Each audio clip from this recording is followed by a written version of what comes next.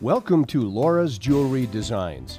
I am a jewelry designer specializing in custom made jewelry. Together with great communication and photographs, we will create what you envision in gold, silver, or platinum.